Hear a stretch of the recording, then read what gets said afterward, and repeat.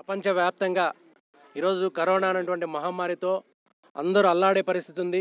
రాష్ట్రం కాకుండా దేశం మొత్తం కూడా ప్రపంచం మొత్తం కూడా ఈరోజు చాలా చాలా దయనీయమైన పరిస్థితిలో ఉంది. కానీ ఈరోజు కేంద్ర ప్రభుత్వం కానీ రాష్ట్ర ప్రభుత్వం తీసుకున్న నిర్ణయానికి ఎన్నో కుటుంబాలు బలైనప్పటికీ ఎన్నో కుటుంబాలు రోడ్డు మీద పడినప్పటికీ మన ప్రజల ఆరోగ్యం ముఖ్యమనుకొని ఎంతోమంది పేదవాళ్ళు తన ఇళ్ళకే పరిమితమైనప్పుడు ఈ లాక్డౌన్ ప్రకటించిన జగన్మోహన్ రెడ్డి గారు నిర్ణయం తీసుకున్న ప్రతి ఒక్క దానికి ఆదరించి అభిమానంతో ప్రతి ఒక్క ప్రజలందరూ కూడా తన ఇళ్ళకే పరిమితమయ్యారు.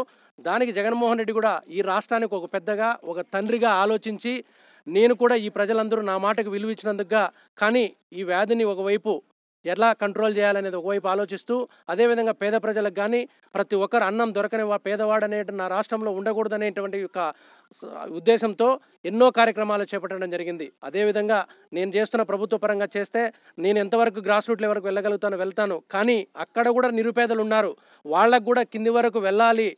మీకు వీలైనంత వరకు మీ గ్రామ పరిధిలోనో రా మండలాల పరిధిలోనో మీకు చేతనైన సహాయం చేయండి అనేటువంటి ఒక మెసేజ్ను స్థానిక నాయకులకు పెంపడం జరిగింది.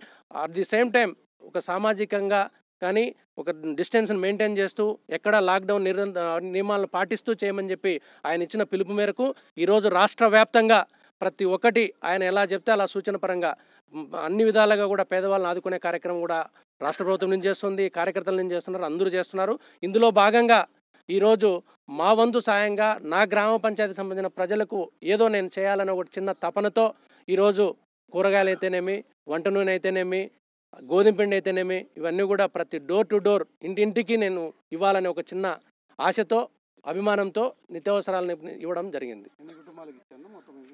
దాదాపు ఈ పదహైదు వందల కుటుంబాలు ఉంటాయి ఇక్కడ. పదహైదు వందల కుటుంబాలకు ఇంటింటికి మేము ఇవ్వడం జరిగింది.